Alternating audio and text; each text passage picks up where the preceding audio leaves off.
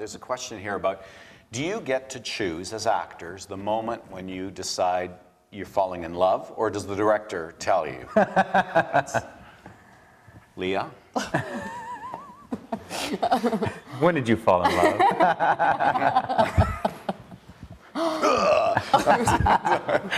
Well, she's she's quite specific with, with some things, but I think in the end, it's it's up to me, Right. the actor, to to make that that choice for myself. Um, And do you think that Jonathan, the actor, right now, in this moment in time, knows when Leah, during the course of the play, because you blocked out the whole play, right? You've had a chance to run it together. So do you suspect Mm-hmm. do that I he think knows? he knows? I don't know. And maybe that's a secret that you don't want to. Yeah. Yeah, and I don't know. I wouldn't. Well, I, mean, there's certain things that are kind of structurally in in the play Mm-hmm. that to make it clear for the audience what exactly when something happens, Yeah, yeah. when things are happening. So But I, but I would also say that it's, it's, a, it's because the love that is suggested is quite profound and quite selfless, actually. Um, I, I think it, I mean, I declare my love in the library scene, you know, but through song and through playful song and also through, it's almost like he's a, a, a someone in grade three pulling the girl's hair who he has a bit of a fancy for. So I think it happens in fits and starts. You know, it often makes me think of that great line in uh, The Sound of Music.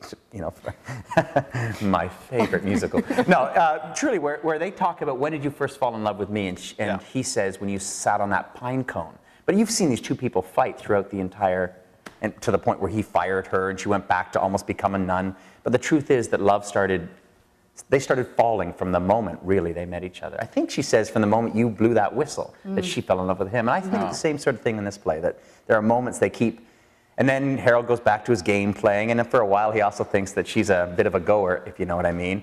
Um, you know, truly, like, that, and that's Harold's pattern. He's always looking for the woman who's going to be, um, you know, a quick fix in a town. And for a moment he thinks of that, but at the same time, I think he always knows from the outset that she's something special. So you're professionals, which means that you have to kiss and still have husbands. Why this line of questioning? What's that Lie detector. How, and how many times do you kiss in this play? How many times do we kiss? twice. Twice. Twice. But it is deep and long and. All right then. No, no, no. Seriously, no. I mean, eh, keeping it, in, keeping it in in, uh, in the family family entertainment uh, origin. It's it's it's actually the kisses are remarkably structured. Yeah. They really draw the audience out, and they're musically structured. So that's that's Ah. a bonus. And yeah. she's very specific too with what she wants. Yeah, yeah. Like, we've been it was getting very we- technical. We've been getting romance lessons from Yeah. Susan Schulman, which is, uh, you know, Oh, its next own time kind of I have dinner with her, I'll have to ask her about that. She should. She was a coach of something else at one time. There's a question here about what preparation each of you have done for these roles.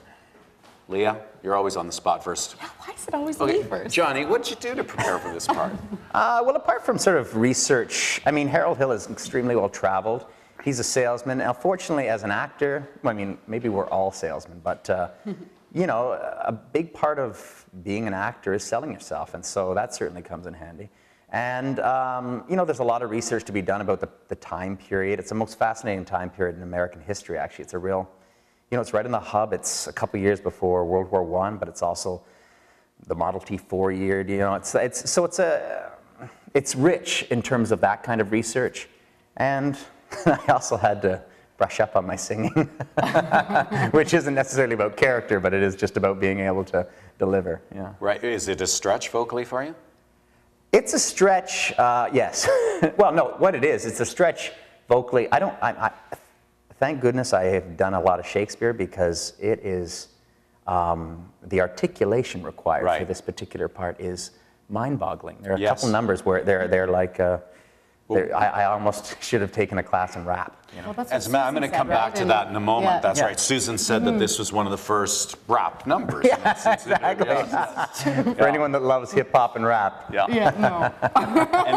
And Leah, how about you? What you obviously have a, an, ex, an extraordinary voice from everything I've heard, and um, so what did you do to especially focus on this part?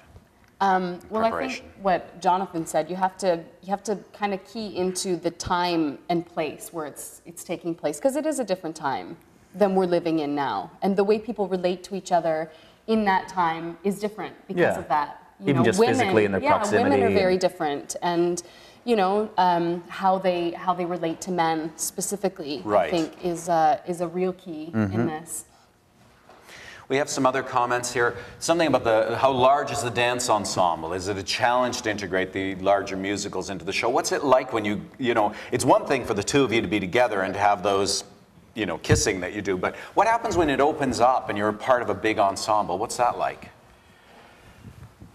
It's fun. I mean, the town itself, River City, is both. Uh, it's sort of acutely drawn, and it's also I wouldn't say parodied, but there is a there is an element of fairly sophisticated satire about it. So Right. once you're in the, I mean, and the people, the townspeople are, you know, they are. Uh, I mean, they're actually pretty accurate um, cutouts of any small town, but at the same time, they're they've got serious passions, they've got prejudice, they've got, you know, and so it's fascinating to be a part of that. I mean, my job in this play is to convince them of the need for a boys' band, and that is. Uh, that's a big undertaking, right? So we get in these numbers where suddenly the energy of the town becomes becomes the play, and so that's really exciting.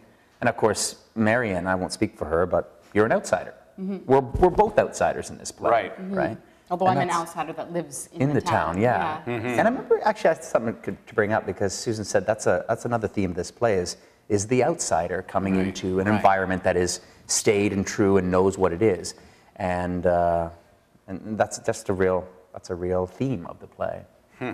Yeah, I don't know if that answers your question, but Leah, do you enjoy the big numbers, like when you're watching them and the kids Oh, and they're everything? and- amazing, yeah. And there's a few right off the top that I'm not in. I don't. Right. I don't come in until about the fifth scene or something like that. So the whole first part of the play, I just marvel at watching. There's 39 people in this cast, so it's a lot of people. ten of them who are children, and Yeah. Yeah. So. so and they're amazing. wonderful. Those Big. kids are Oh. so cute. yeah, so we've great. got some Yeah. Mm-hmm. some wicked kids in this. Okay, we're going to have one last question here, and it's an important one, and then I'll tell you a bit about next week. It's for you, Jonathan. Can we have a short sample of your rap? Break it down, break it down. no, sure, uh, you mean the rap in the play? Yes. I can't. bel who had who had, who asked that question?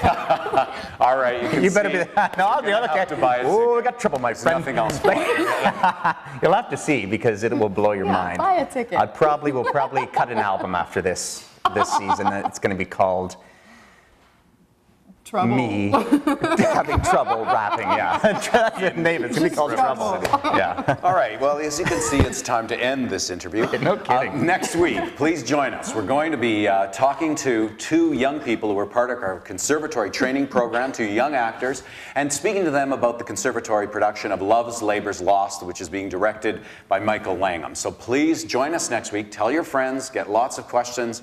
And today, though, I want to thank very much both Leah and Jonathan for doing this. Thank you. I can't wait to see you guys, and it'll be very soon now, right? When do you go into previews?